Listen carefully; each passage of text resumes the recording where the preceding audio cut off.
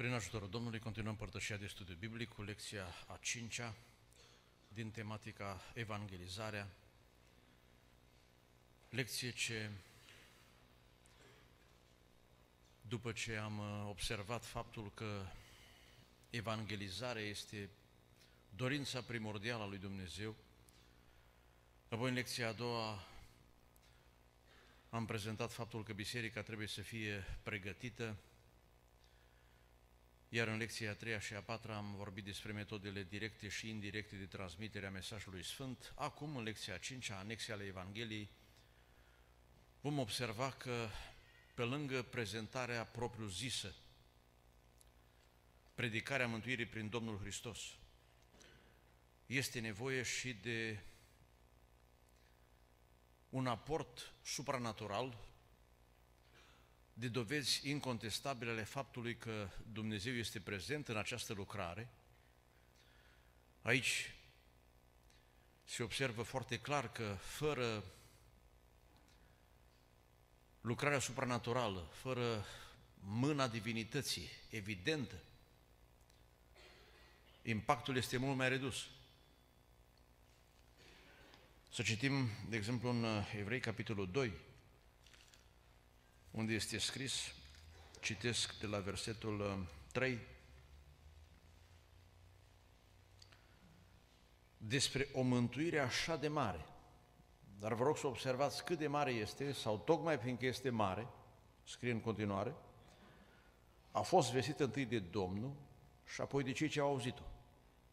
Și iată o primă anexa Evangheliei în versetul 4. În timp ce Dumnezeu întărea mărturia lor cu semne, puteri și felurite minuni și cu darurile Duhului Sfânt împărțite după voia sa. Aceasta în plan supranatural, ca și o intervenție evidentă a Domnului.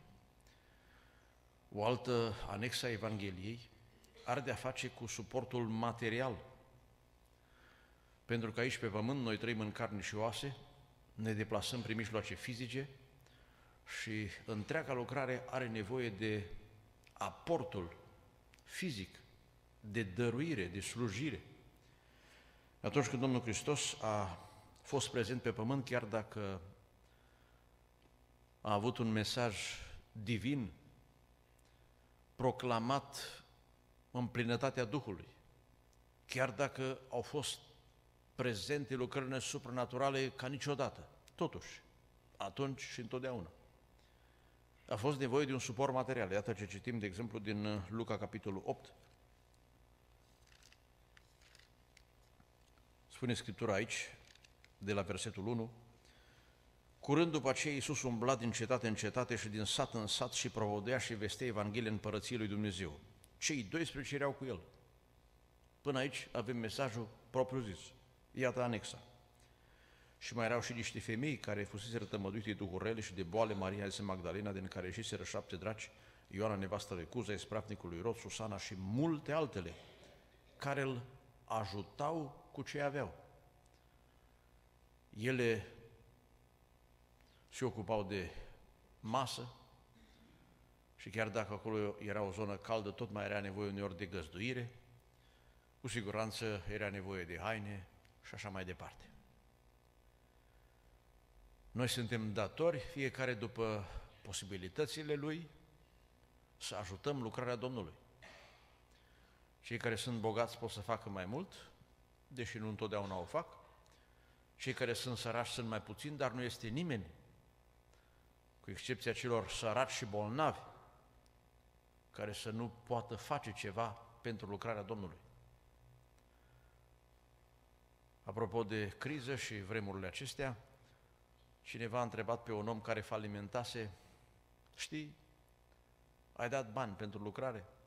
Și el a zis, da, cu aceea am rămas.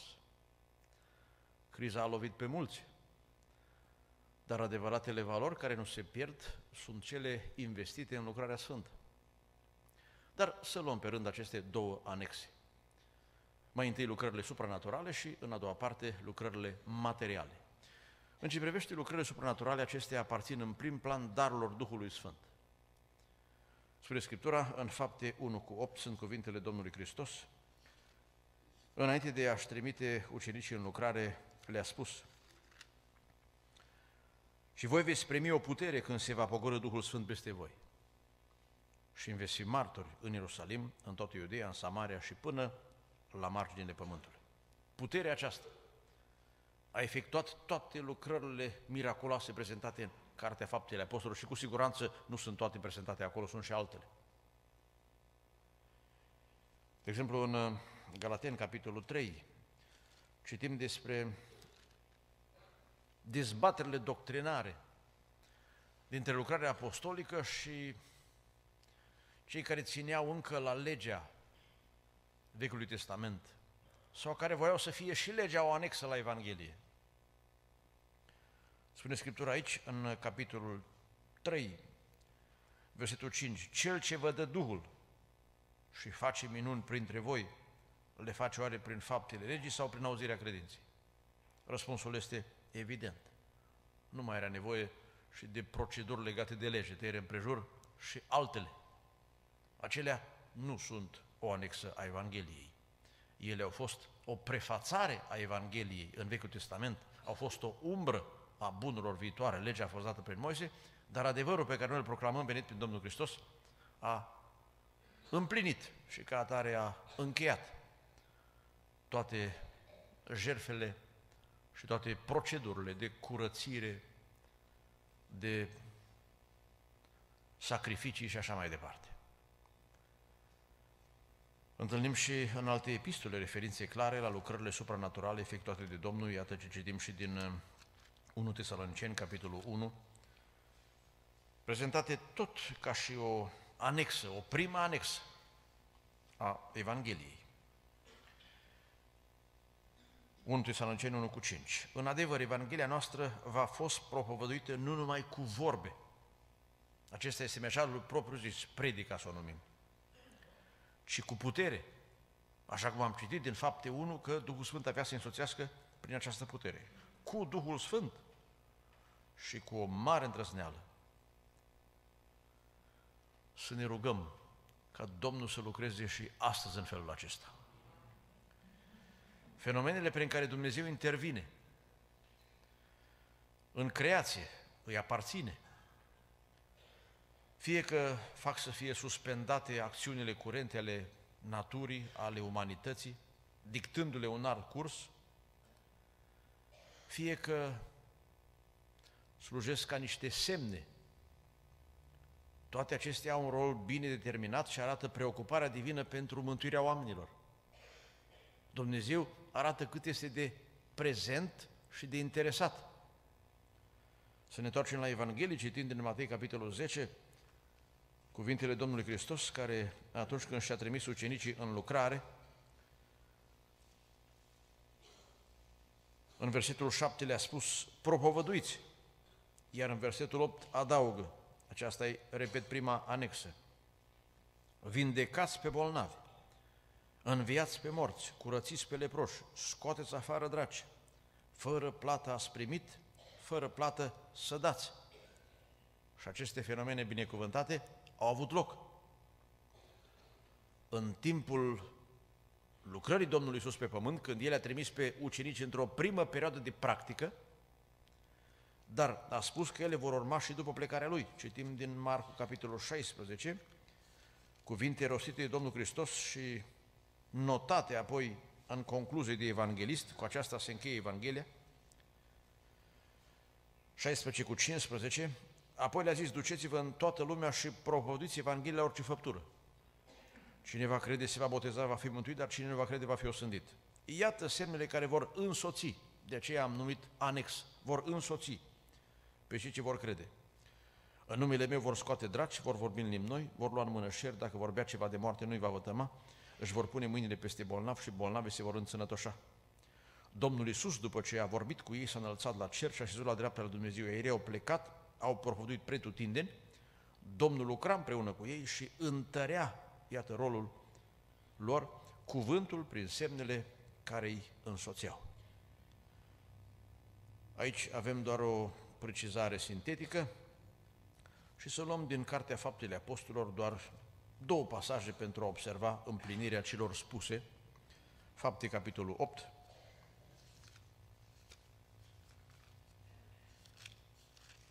Pentru că cercetând aceste realități, ne întărim în credință și știm ce avem de făcut.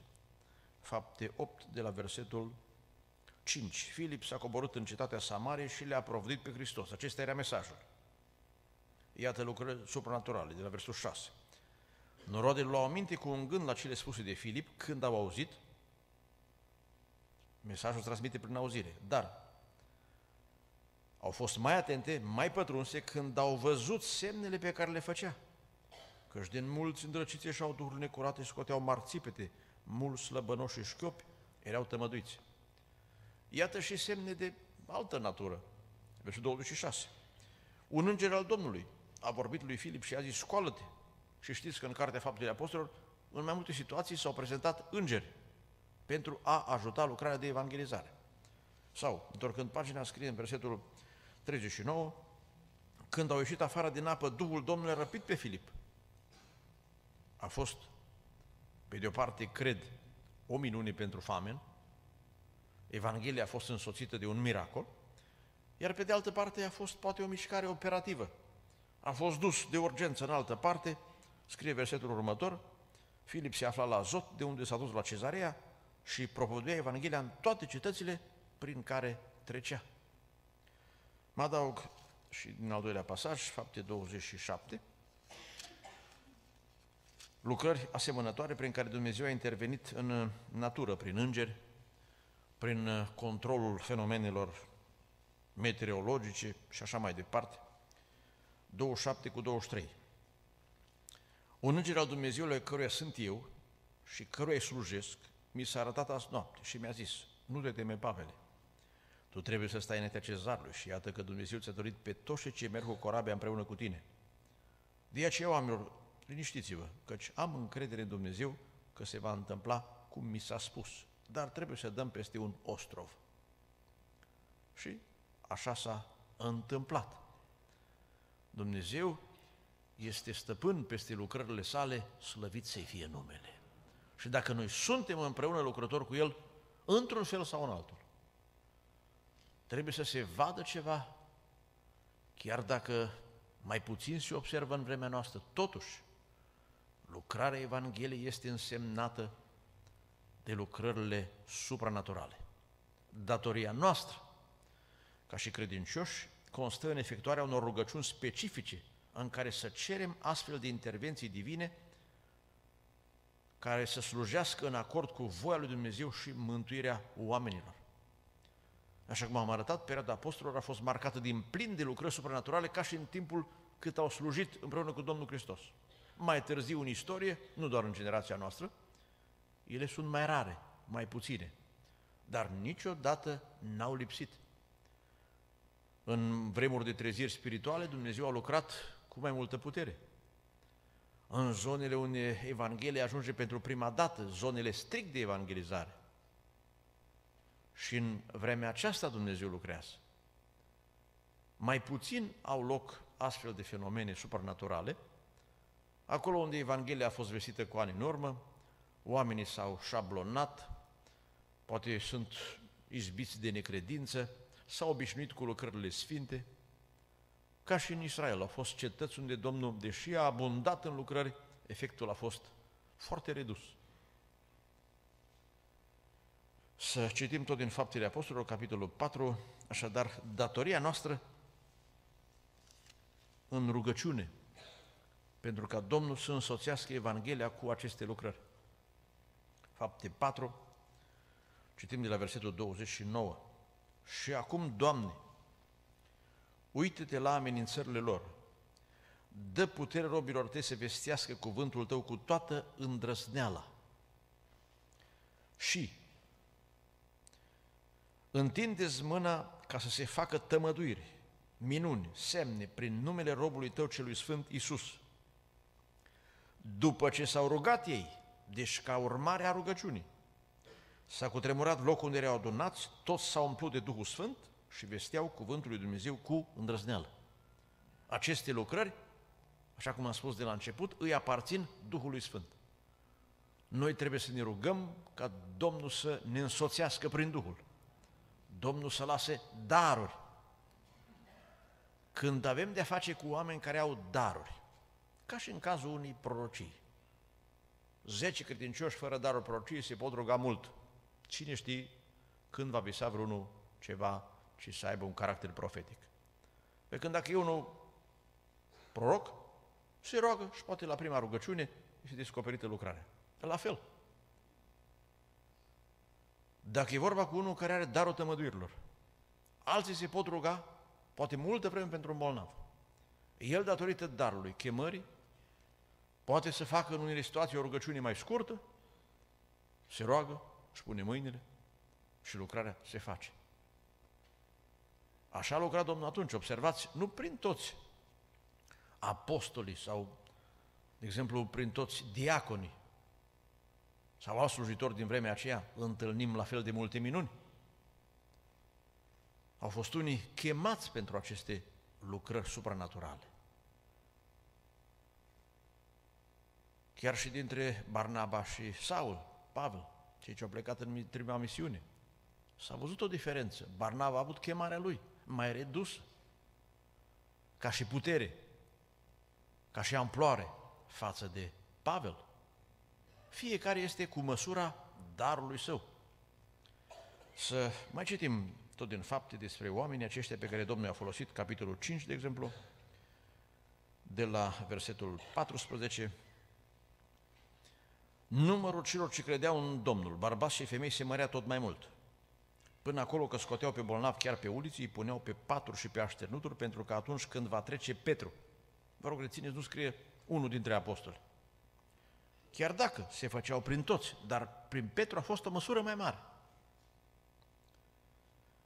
Măcar umbra lui să treacă peste vreunul din ei. Mulțimea de asemenea arga la Ierusalim de cetățile vecine și aduceau pe cei bolnavi și pe cei chinuiți de duhuri necurate și toți se vindecau. Evident, din cei ce credeau și erau prezenți acolo. Despre Apostolul Pavel mai citim asemănător în fapte 19. Lucrarea din Efes confirmă chemarea lui, versetul 10 la 12. Lucrul acesta a ținut doi ani, așa că toți ce se aflau în Asia, iudei și greci, au auzit cuvântul Domnului. Propovăduirea propriu-zisă, acum iată anexa. Și Dumnezeu făcea minuni nemaipomenite prin mâinile lui Pavel. Până acolo că peste cei bolnavi se puneau basmale sau șorțuri, care fusese atins de trupul lui și îi lăsau bolile și ieșau afară din ei duhurile rele. El povestește mai târziu, scriind celor din Roma, Roman 15, felul în care Dumnezeu l-a însoțit prin aceste lucrări supranaturale.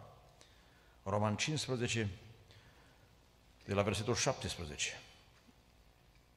Eu dar mă pot lăuda în Isus Hristos în slujirea lui Dumnezeu. A fost însoțit în felul acesta. Mi-am amintit că am fost cu ani în urmă dus cu fratele Simeonu cu undeva într-o misiune și la sfârșit vine un frate și zice să te rogi pentru mine, să-mi faci ungerea.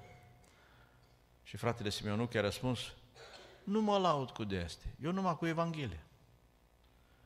Pentru că fiecare este cu chemarea lui.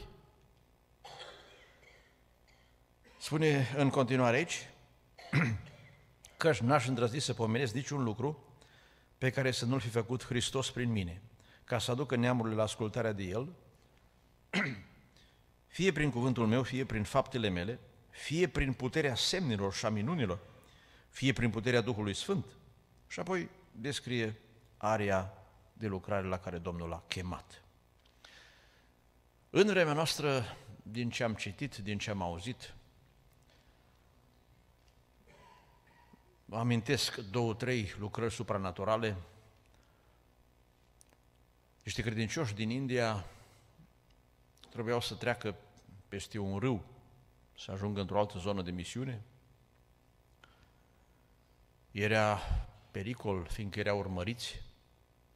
Și Domnul a făcut să se răstoarne un copac și să le slujească așa în regim de urgență drept punte. Pentru Dumnezeu este simplu. Pentru noi oamenii sunt lucrări supranaturale. Citeam despre doi frați misionari din Uganda care trebuiau să plece cu avionul, au ajuns cu întârziere datorită condițiilor din junglă, a locurilor limitate la cursa aceea și Domnul le-a vorbit că vor avea trecere.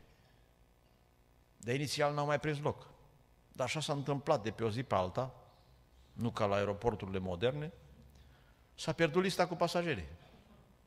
Și îmbarcarea s-a făcut după alte criterii. Ei erau la rând, fiindcă cereau să le fie rezolvată problema și au urcat fără probleme în avion. Dumnezeu se poate amesteca sub diverse forme. Citeam că în Corea, mai cu ani în urmă, este un fapt cunoscut, a fost o vreme îndelungată de secetă. Și credincioșii au chemat uh, la rugăciune, a fost o bătălie între zeități, am spune, localnicii prin asta au avut dovada că Dumnezeu e Cel ce dă ploaie, cum spunea profetul Ieremia. Și succesul Evangheliei în zona aceea a fost mai mare. Dar am auzit recent despre un caz din Oltenia când s-au dus niște frați și nu au fost acceptați într-un local public. Până la urmă au intrat într-o curte și acolo s-au apucat să cânte, dar nu au început bine că a venit ploaia. Ei s-au năcăjit neștiind problemele locale. A fost o ploaie binecuvântată. Și au venit oameni de la primărie și le-au oferit spațiu spunând la noi la biserică se roagă de nu știu câtă vreme. Nu plouă, e secet. Voi nu m-ați apucat să cântați și la voi plouă. Fără să știe ei. Prin asta Dumnezeu a făcut deschidere pentru Evanghelie. Să ne rugăm ca Domnul să-și însoțească lucrarea cu lucrări supranaturale. Fără să îi dăm noi lui Dumnezeu direcții și directive. El știe ce are de făcut. Noi îi prezentăm nevoile, noi să ne facem partea noastră, dar minunile se declanșează de regulă așa ca în Filipi. Domnul îți vorbește să știi unde să te duci, apar problemele, de regulă minunile sunt asociate cu persecuția sau cu stări critice, ca și în Babilon, dar eu rămân la cazul din Filipi. Au ajuns în închisoare și acolo cântau. Și Dumnezeu a intervenit. Dar fără să-și facă ei partea lor și fără să se roage. Nu au intervenit lucrări supranaturale, deși Dumnezeu este foarte interesat în evangelizare. De altfel, este normal că atunci când se epuizează eforturile noastre, fiind lucrători împreună cu Dumnezeu, să intervină El. Este ca și cum un tată lucrează împreună cu copilul său. Îi dă copilului o sarcină, ce nu poate copilul, nu va interveni tata? Ba da, dar dacă nu-și face el treaba, să o facă tata, nu-i corect. Deci, să ne facem partea noastră și să rugăm pe Dumnezeu să-și dovedească numele și puterea. Amin. Capitolul 2. Lucrări materiale. Participarea cu ajutoare financiare sau cu slujire. Adică ori ești Marta și slujești, ori ești Maria și dai banii după ce ai adunat. Prin darurile suport material al lucrării. Sunt două daruri suport. Slujirea și dărnicia. Slujirea este asociată și cu darul ajutorării. Acestea sunt o necesitate absolută a Evangheliei. Vreau să consultăm lista de daruri pentru a le observa. Roman, capitolul 12, versetul 7. Cine este chemat la o slujbă, aici scrie în mod normal cine este chemat la diaconie, să se țină de diaconia lui, de slujirea lui. Citim de asemenea 1 Corinteni 12. Aici scrie în versetul 8, uh, mai scria și de, dărnicie, de milostenie și de dărnicie. Milostenia privește partea sufletească, dărnicia cea materială, dar 1 Corinteni 12, versetul 28.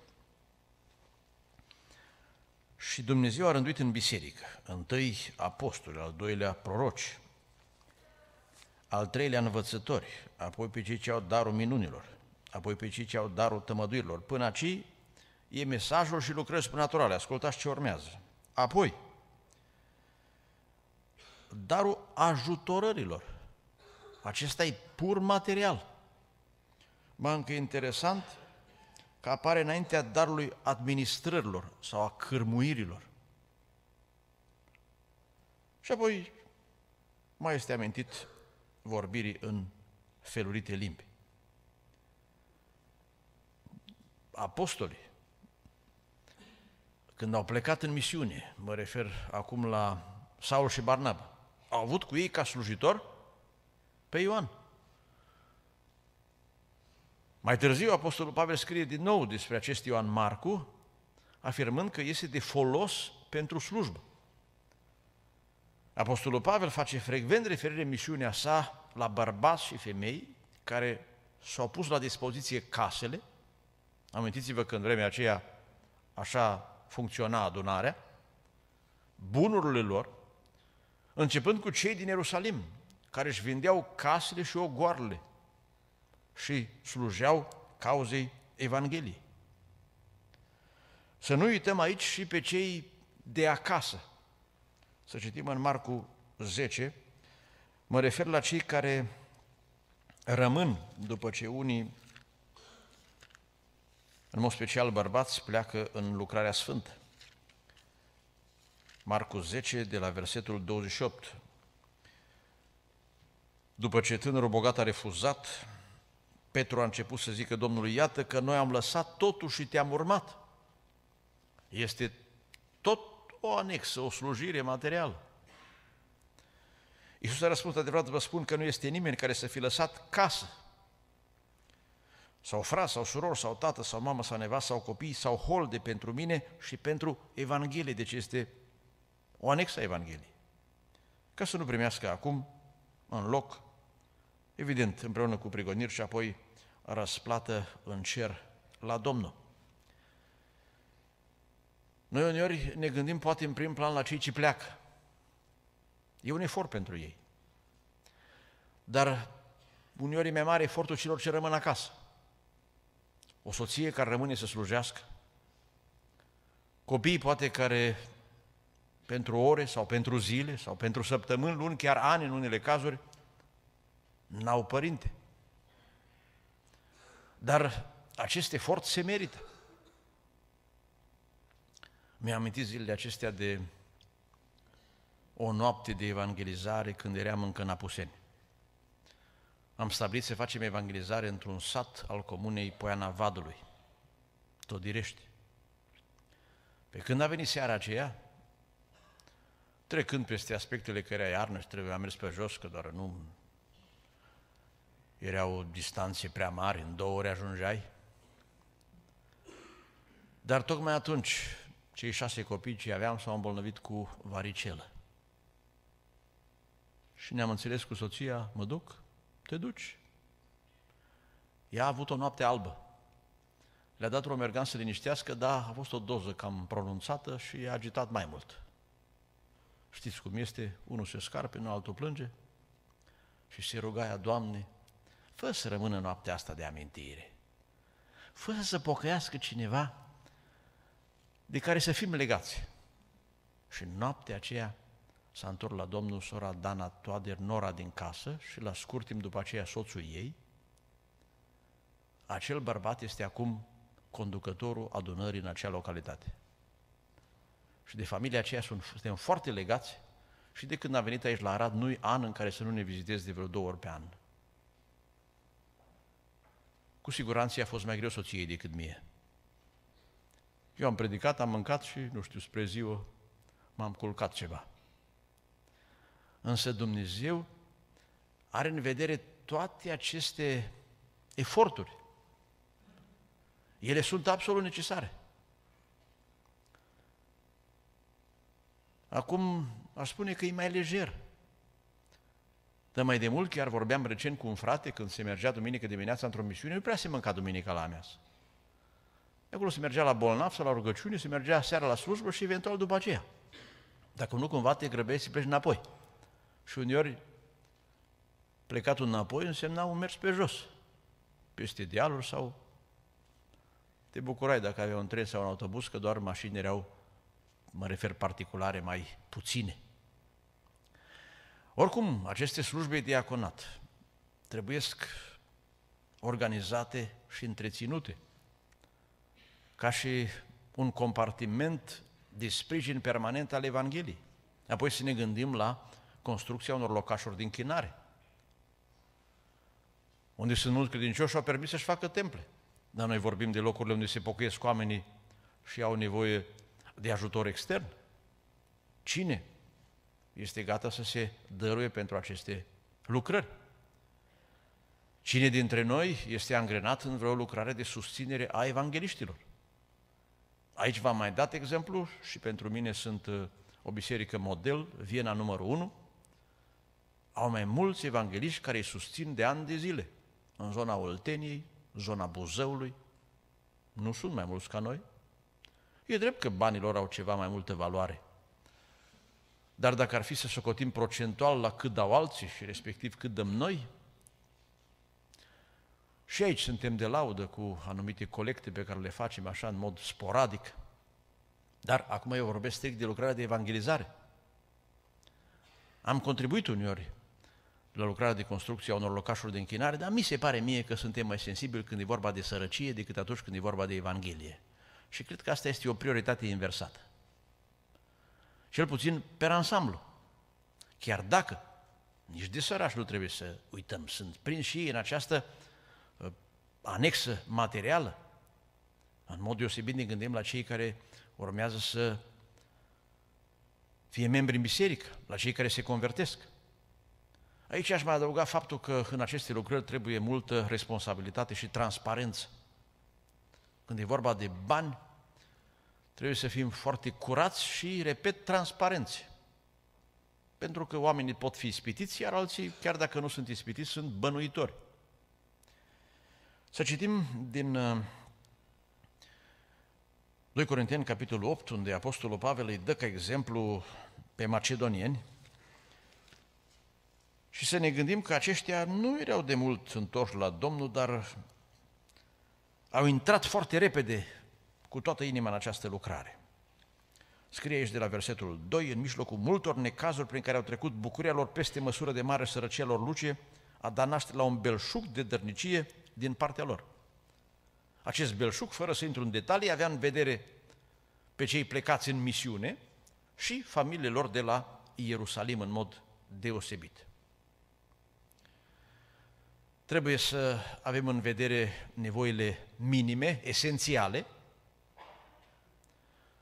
Și aici v-aș da un exemplu sugestiv. Se spune că s-au întâlnit doi frați într-o gară și întreabă cu ce tren ai venit. Și răspunzând, află că au venit cu același tren. Și unul întreabă, în ce vagon? Ce la clasa a doua aici. Și celălalt e nevoie și el să răspundă, zice, la vagonul de dormit. Mai bine decât la cușetă, la vagonul de dormit, cum știți. La care primul zice, măi, eu m-am gândit la frați, la banii Domnului și de aia m-am dus la clasa a doua. Acum celălalt, ca să o tocmească și el, zice, băi, și eu m-am gândit la robul Domnului. Deci depinde cum punem problema. Cât de pretențioși suntem și cât de mult punem suflet în lucrarea Domnului. Nu vreau să scap și cu această ocazie, așa cum făcea și apostolul în scrisorile lui, să le mulțumesc și să evidențiez pe cei care se implică, de exemplu, aici, la distribuirea revistelor. Nu-i mult, e odată la câteva, la trei luni, o jumătate de zi, câteva surori și vreun frate care Stă vreo patru ore acolo la gară până le sunt preluate toate coletele. Repet, nu-i mult, dar sunt unii care poate ar fi putut să o facă și vedeți că au sosit revistele săptămâna asta. Ne veți ajuta, da? Asta nu că nu se găsesc surori învățătoare destule, dar uneori efortul cade doar pe unii. Știți, tot mereu se scrie în Biblie, unii pe alții. Adică ajutați-vă unii pe alții, îndemnați-vă unii pe alții, numai că uneori se întâmplă că sunt tot unii cei care ajută și cei ce beneficiază sunt tot alții.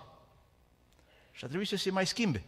Acei unii care dăruiesc ar trebui să fie de fapt și alții. Cum zice tot apostolul, să fie o potrivire. Amin? Aici, la lucrările materiale, vă dau ca exemplu pe Apostolul Pavel. Este cel mai complex caz de raportare materială și fizică la lucrarea evanghelistică, prin aportul propriu. Citim mai întâi fapte 18.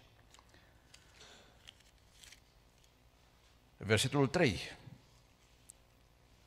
Este prezentată profesia lui, meseria, facerea corturilor. Versetul 4. Pavel vorbea în sinagogă în fiecare zi de sabat și îndupleca pe iudei și pe greci, dar când a venit Sila și Timotei din Macedonia, Pavel s-a dedat în totul propovăduirii și dovedea iudeilor că Iisus este Hristosul. Deci toți oamenii trebuie să aibă o meserie a lor.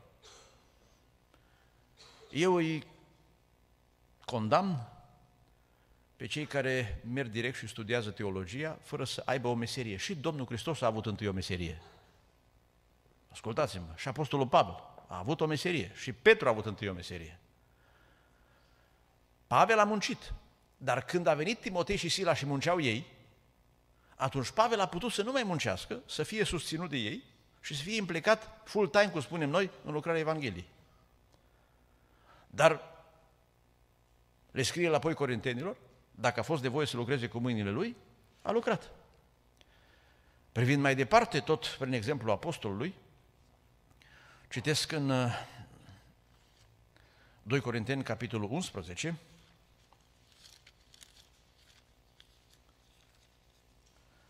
Ca să mă înțelegeți de ce condamn, nu pentru că n-ar avea dreptul, dar există riscul să facă din asta o meserie și apoi să fie controlați de oameni.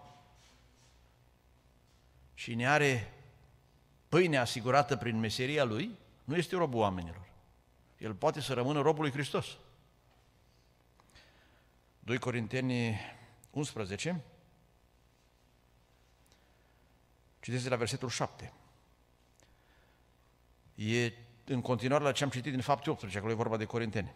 Sau am făcut un păcat când m-am smerit pe mine însumi și ca să fiți înălțați voi și m-am vestit fără plată Evanghelia lui Dumnezeu, am despoiat alte biserici primind de la ele o plată ca să vă pot sluji vouă. De aici rezultă și faptul că unii sunt mai dificili. Pavel a avut legături de dare și primire cu cei din Filip din Macedonia, scrie în Filipeni 4, dar cu corintenii n-a putut proceda așa și a fost călăuzit de Domnul de la ei să nu ia bani, ci din potrivă să le slujească prin efortul său. Versul 9. Și când eram la voi și n-am, m-am găsit în nevoie, nu v-am fost sarcină nimănui, căci de nevoile mele au îngrijit frații care veniseră din Macedonia, în toate m-am ferit și vă voi feri să vă îngreuiesc cu ceva. Așa a fost, repet, situația acolo, mai dificilă. Citim și din 1 uh, Corinteni 9 ca să observăm regula pe care apostolul o fixează, pentru că, pe de o parte, sunt de condamnați cei care au pretenții să facă din asta o meserie, Domnul a spus clar, fără plată să primi, fără plată să dați, e necesar doar să fie întreținuți astfel de oameni. Ei sunt de condamnați și credincioșii care cred că Evanghelia poate să funcționeze fără un ajutor financiar. Fratele Florea Solovăstu de la Marginea, dacă ați auzit, el a fost o dată în misiune la Timișoara și când s-a întors înapoi, frații au să mai vii pe la noi. El era așa direct și a spus, voi mai veni la voi când va fi trenul în leu, că eu am pensie numai 100 și voi n-ați 50 de bani. Deci sunt de condamnați să repete în egală măsură și credincioșii, care cred că ei se pot abține și că lucrarea Evangheliei merge singură. Ascultați ce vă citesc 1 Corinteni 9, de la versetul 11. Um, dacă am semănat printre voi bunurile duhovnicești, mare lucru este dacă vom secera bunurile voastre vremelnice? Versetul 13. 14. Tot așa Domnul a rânduit ca cei ce propovădesc Evanghelia să trăiască din Evanghelie. Deci, evangeliștii trebuie să fie susținuți în mod deosebit când ajung în zone unde nu au poate nici capacitatea să muncească sau poate au nevoie de un timp în care să se dedice pentru lucrarea sfântă, să ne gândim și la familiile lor, cum spuneam, la cei ce rămân acasă. Pavel scrie în continuare aici că el n-a vrut să primească o plată, n-avea nici familiei drept și asta urma să-i fie răsplătit sus în cer. Oarecum ceea ce primim aici este un avans, diferența de plată, evident, Domnul știe toate criteriile, vom primi-o sus. Spune în continuare aici, în uh, versul 23, fac totul pentru Evanghelie. Și acest principiu pentru Evanghelie sau pentru evangelizare ar trebui să ne călăuzească pe toți. Atât cei care trebuie să gândească la banii Domnului, cât și cei ce trebuie să se gândească la robul Domnului. Să fie în toate o echilibrare binecuvântată. Amin? Mai adaug tot aici 1 Tesaloniceni 2 cu 9,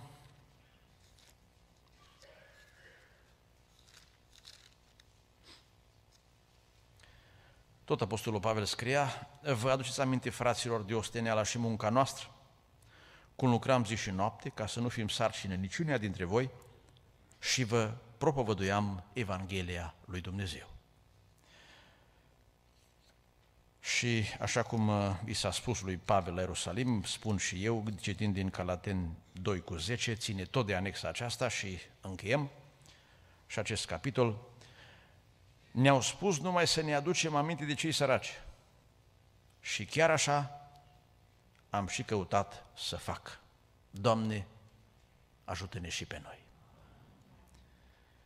Eu spun uneori așa mai sugestiv, în Evanghelie scris că a fost turnat mir pe capul Domnului Isus și pe trupul lui. Și datorită insuficienței amănuntelor, unii cred că e vorba de două femei acolo în Evanghelie, alții cred că e vorba numai de una. Și eu spun, ca să împăcăm și o variantă și pe cealaltă, turnați mirul unde vreți. Turnați-l pe cap sau turnați-l pe picioare, dar turnați-l. Adică ori dai la evangelizare, ori dai la săraci, dar Evanghelia are nevoie de suportul tău material. Pentru că ceea ce am primit este de la Dumnezeu și trebuie să slujească mai întâi cauzei lui Dumnezeu și celor în nevoie care sunt creați după chipul lui Dumnezeu. Amin? Încheiem așadar, reamintind aceste două anexe fundamentale ale Evangheliei, în care se cuprind mai întâi lucrările supranaturale, care trebuie să însoțească Evanghelia și ele sunt o autentificare a colaborării evangeliștilor cu Dumnezeu. Uneori Dumnezeu este nevoit să apere Evanghelia, când slujitorii săi sunt în primejde. În ideea aceasta vă citesc fapte 14.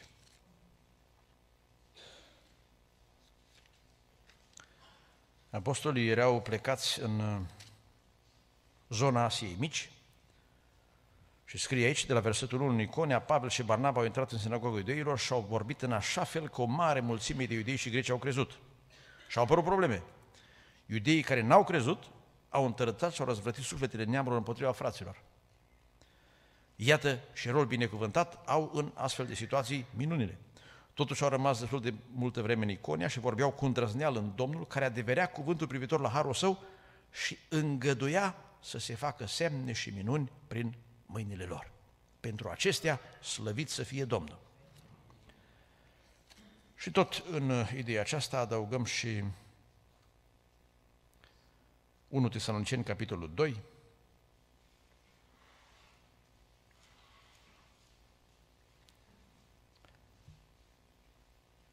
de la versetul 1. Voi însă știți, fraților, că venirea noastră la voi n-a fost zadarnică.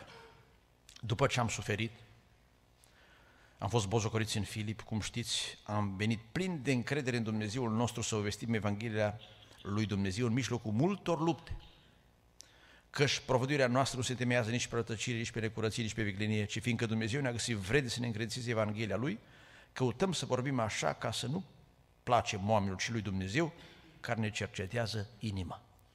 Deci, în toate aceste probleme, să slujim cu toată inima înaintea Domnului și Domnul să-și proslăvească numele.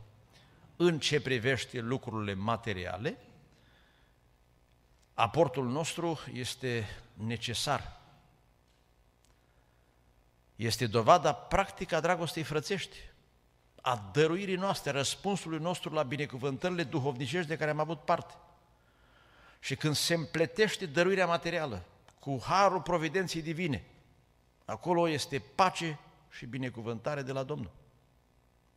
Iată ce citim din 2 Corinteni, capitolul 9, în privința dăruirii materiale și a rezultatelor duhovnicești care derivă de aici. Citim de la versetul 6, să știți, și vorba de cele materiale, ca anexa Evangheliei. Cine seamănă puțin, puțin va se cera. Cine seamănă mult, mult va se cera. Fiecare să dea după cum hotărât în inima lui. Nu e regulă. Nu cu părere de rău sau cu silă, că și pe cel ce dă cu bucurie îl iubește Dumnezeu. Și Dumnezeu poate să vă umple cu orice har, pentru că având totdeauna în, în toate lucrurile din destul, să prisosiți în orice faptă bună, după cum este scris. A împrăștiat a dat săracilor neprihănirea lui, rămâne în viac. Cel ce dă sămânță semănătorului și pâine pentru hrană, va da și va mulți și vouă sămânța de semănat și va face să crească roadele neprihănirii voastre. Și continuă efectele. În chipul acesta veți fi îmbogățiți în toate privințele, pentru orice dărnicie, care prin noi va face să se aducă mulțumiri lui Dumnezeu. Doamne, ajută-ne! Și încheie aici, în versetul 15, ideea spunând, mulțumiri fie aduse lui Dumnezeu pentru darul lui nespus de mare. Așadar, în concluzie, evangelizarea este o sămânță de sus care trebuie semănată de noi jos. Dar trebuie o dată de apă de sus, care sunt semnele supranaturale. Și în același timp, pământul, suportul e de jos, material, ceea ce ține de noi. Când și cerul și pământul contribuie, lucrarea se face și sunt roade. Amin.